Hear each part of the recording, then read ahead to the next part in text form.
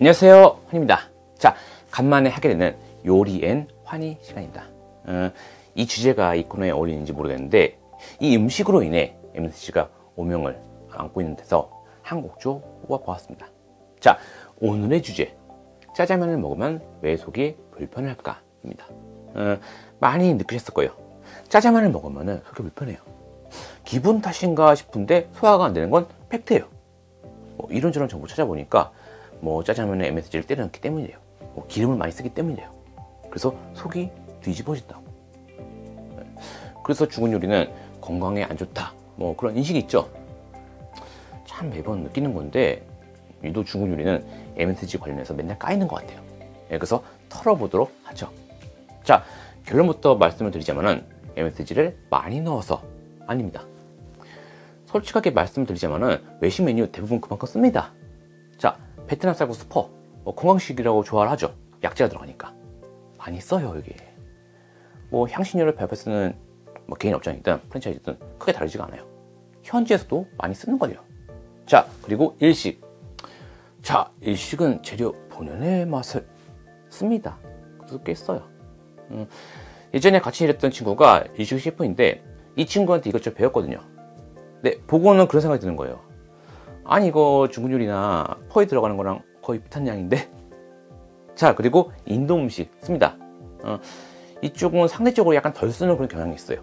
왜냐면 커리류는 향신료하고 기름 맛이잖아요. 그리고 먹으면 기름이 먼저 혀에 와요. 그리고 향이 먼저 통과를 하죠. 그런 구조다 보니까 그렇게까지 감칠맛에 집착하지 않아도 돼요. 그래서 약간 덜 씁니다. 그리고 한식은 제가 실은 한식 경험이 없어요 근데 이쪽도 양은 거의 비슷비슷한 것 같아요. 왜냐면 고깃집이든 뭐 정식집이든 백반집이든 그 된장찌개를 먹었을 때 입안에 오는 그척 붙는 맛 재래된장만 써가지고는 그런 맛 안 나거든요. 제가 매일 재래된장 먹기 때문에 알아요. 자, MSG는 보편적으로 사용하는 양이 있습니다. 뭐 권장량, 치사량 이런 거 말고 손님들이 complain 잘 안 걸고 재료가 좀 부실해도 맛이 괜찮게 나는 그 정도의 양, 즉 적절한 양 자, 그 양을 넘어가면 어떻게 될까요? 오히려 맛의 밸런스가 무너져요. 그 먹었을 때 그 있잖아요. 입안에 맴도는 그 계속해서 맴도는 감칠맛. 물을 마셔도 사라지지 않고 술을 마셔도 사라지가 않아요. 그 불쾌한 감칠맛. 즉 굳이 더 때려 넣을 필요가 없다는 거죠. 자, 조미료. 다 돈입니다. 다 돈이에요, 그거. 뭐로 밸런스 망쳐가면서 돈을 벌어요. 응. 음식 팔아가지고 남기는 거잖아요. 다 돈이란 말이에요. 뭐하러 과하게 써가지고 조미료 값을 써요. 굳이 왜, 그 짓을 왜 안 하는 거예요?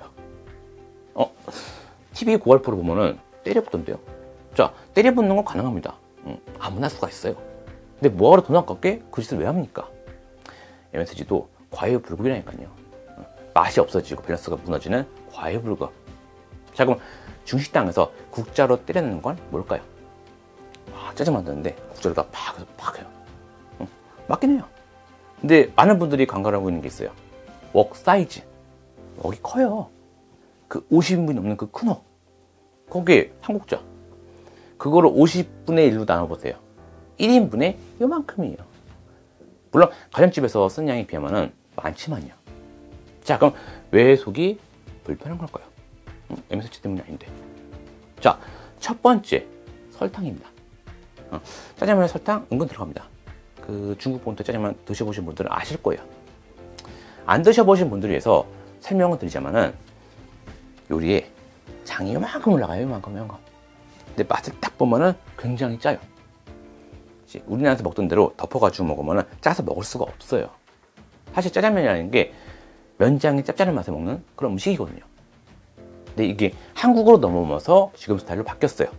양배추, 양파 듬뿍 들어가고 물이나 육수 붓고 물렁말로 껄쭉하게 해주고 한 그릇에 한 국자 듬뿍 퍼주죠. 자, 아무리 친숙해도 중국 음식은 외국 음식이에요. 외국 요리에는 이질감이 있어요. 그렇지만 이질감이 있는 요리라도 적절한 당이 있다면 한층 더 받아들이기 쉬워져요.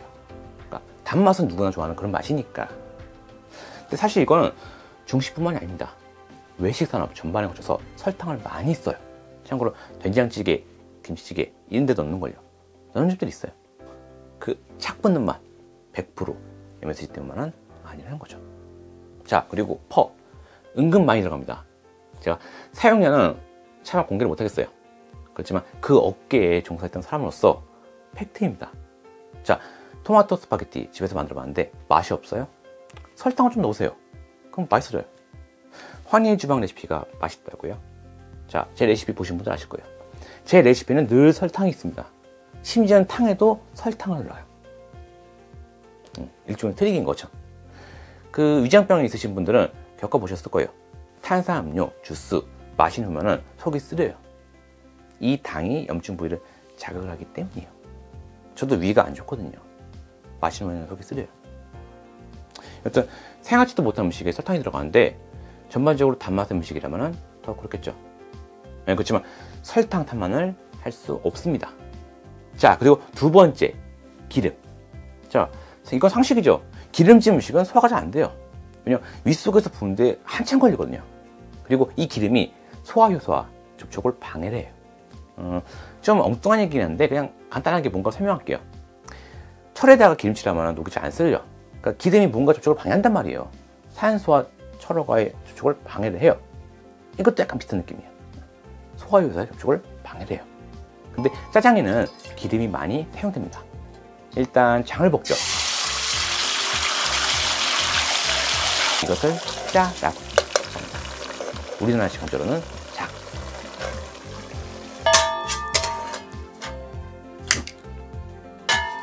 그리고 기름을 두르고 돼지고기를 볶은 후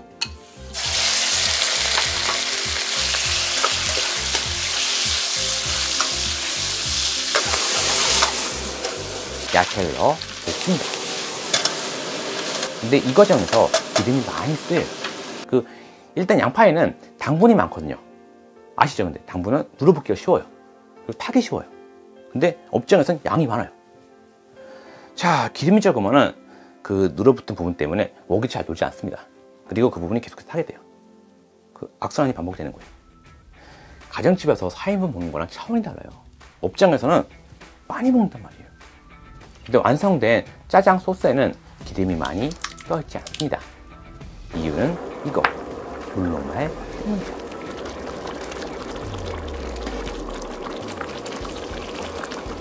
자, 물이 섞인 전분에 열이 가해지만은 이 전분이 주변의 수분을 끌어안으면서 갤화가 돼요. 나의 동료가 내려와서 끌어안는 거예요. 근데 이때 기름도 함께 끌어안게 돼요. 동치가 된단 말이죠. 즉, 이 소스, 기름이 많이 있다는 거예요. 게다가 이렇게 껄쭉해진 전분은 포만감이 있습니다. 여기에 면 비벼 먹으면 배부를 수밖에 없죠. 여기 또 기름까지 있네요. 자, 당, 기름, 전분. 이것만으로 속이 든든하죠. 마치 그 중식 스포츠 말이죠. 먹으면 속이 든든해지는 쑥. 그런데 말이죠. 이건 결정타가 아니에요. 짜장면이 아닌 짜장밥으로 먹으면 그렇게 부담되지는 않거든요. 그렇지만 면으로 먹으면 뒤집어진단 말이죠. 자, 결정타. 면 첨가제입니다. 그 모든 업종 아니지만 중식당에서는 면 첨가제라는 걸 사용해요. 면에 쫄깃함을 주고 잘 불지 않게 하기 위해서죠. 그 옛날에는 밀가루에다가 소금, 소다 이렇게 넣어가지고 반죽을 했어요. 근데 그것보다 성능이 더 좋아요. 자, 이 면 첨가제 성분은 치즈와 색소, 그러니까 노란색을 내기 위해서 넣는 거예요. 식소다, 탄산수도 나트륨, 그리고 활성 글루텐입니다. 네, 글루텐 아시죠? 밀가루에 있는 그 단백질. 그런 건데 이거랑 좀 달라요. 여기 들어가는 글루텐은 활성화된 거예요. 참고로 밀가루에 있는 글루텐은 활성화가 안 된 거예요. 반죽을 시킨 다음에 쳐야지 활성화되는 건데 이건 그게 이미 활성화돼 있어요. 근데 문제는 이게 소화가 잘 안 된다는 겁니다. 아실 거예요. 빵, 국수 소화 잘 안 되죠. 글루텐 때문이에요. 근데 더 넣었단 말이에요. 껌딱지 같은 글루텐 물속에서 잘 안 불거든요. 여기 더 첨가를 했다고 생각을 해보세요. 어떻게 보면 간역분보다 글루텐이 더 많은 셈인 거예요. 그 소다가 이제 pH에 영향을 주기 때문에 소화가 안 되는 거다. 그런 얘기를 듣는데 어지간히 많이 써서는 그 정도까지 되게 힘들어요. 사실 이런 면들도 이제 물에 넣고 잠시만 두면은 불거든요. 근데 첨가제를 사용한 면들은 잘 불지가 않아요. 또 탄성도 강하죠. 쫄깃한 식감이 강해요. 자, 이런 면들은 배달에 가서도 quality가 제법 유지가 됩니다. 시간이 지나도 쫄깃하고 잘 안 불어요. 여러분의 뱃속에서도 잘 안 불어요. 물론 적정량을 사용한다면 그렇게 나쁘지 않습니다. 아, 그것도 다 검사받고 테스트해가지고 나온 제품이잖아요. 근데 현장에서 그 사용량이 이제 지켜지지 않는 경우가 꽤 많아요. 즉 필요 이상으로 많이 쓴 경우도 있다는 거죠. 자, 요약하면은 전반적으로 달콤한 간, 기름지고 물룩말을 넣어서 포만감 있는 소스, 거기에 활성 글루텐이 들어간 면. 이게 콤보로 맞기 때문에 속이 불편했던 거예요. 그러니까 한 대 맞거나 두 대 맞는 건 괜찮은데 세 대씩 맞으면 그 정신 못 차리잖아요. 그랬던 거예요. 아실 거예요. 짜장면이 아닌 짜장밥으로 먹으면 그렇게까지 부대 끼지 않아요. 그리고 짬뽕, 우동, 수초면 그렇게 먹어도 마찬가지예요. 속 괜찮아요. 면이든 소스든 떼어놓고 보면은 그렇게 부담되는 음식이 아니었던 거죠. 네. 섞으면은 이야기가 달라지지만요. 팍팍, 킥, 팍! 정신 못 차리잖아요. 음식도 그런 거예요. 자, 그럼 조미료를 안 쓰는 집들은 먹어도 괜찮은데 왜 그럴까요? 그 TV에서 보셨죠? 뭐안 쓰는 거 먹었더니 속이 괜찮더라. 자, 일단 건강짜장 지향하는 곳은 별로 안 달게 가능합니다. 기름도 별로 안 써요. 자, 건강을 챙기는 사람들은 설탕도 끊으려 하잖아요. 그리고 또 그런 집들은 면천가지를 잘 안 써요. 자, 첫 번째, 설탕과 같은 이유 때문에. 그리고 두 번째, 그걸 쓸 정도로 주문이 많지 않기 때문이에요. 음, 후자가 더 유력하죠. 자, 그럼 집짜장은 어떨까요? 일단 집에서는 설탕이든 기름이든 많이 안 써요. 그리고 조미료도 적당히 쓰잖아요. 저 같은 사람도 틈밖에 안 쓰는데. 그리고 무엇보다도 일본인들은 면창가지의 존재를 모르잖아요. 아시는 분만 아시고 모르는 사람은 몰라요. 그게 면창가지예요. 어, 물론 중식당 탐만을 할 수는 없어요. 왜냐면 앉자마자 주문하자마자 한 3분 지나서 재촉을 받는 것이 중식당이에요. 그리고 빨리 와서 빨리 먹고 빨리 나가는 그런 분위기예요. 파스타 전문점, 돈까스집 안 그래요. 유독 중식당만 그래요. 그럼 잘 불지 않은 면이 필요해요. 게다가 배달도 가잖아요. 일반 국수 조금만 있으면 퉁퉁 풉니다. 그래서 면천가지가 필요했던 거죠. 자, 일단 제 생각을 말씀드리자면은, 제 생각이에요. 짜장면도 이제 좀 바뀌어야 되지 않나 싶어요. 그 짜장 소스에다가 막 비싼 고기, 비싼 해산물 넣어가지고 고파 이런 거 말고 좀 더 근본적인 부분에서 말이죠. 자, 짜장면은 명과 장의 요리잖아요. 장도 천면장, 즉 미를 쓴 장이에요. 즉 미래 요리예요. 물론 보통 사람들이 생각하는 짜장면 이미지 때문에 어려울 것 같긴 해요. 음, 이미지가 픽스돼서 고생 중인 뭐 유튜버처럼 말이죠. 자, 오늘 얘기 여기까지고요. 다음번에는 뭐 적당한 거 골라서 하도록 하겠습니다. 자, 그럼 안녕히 계세요.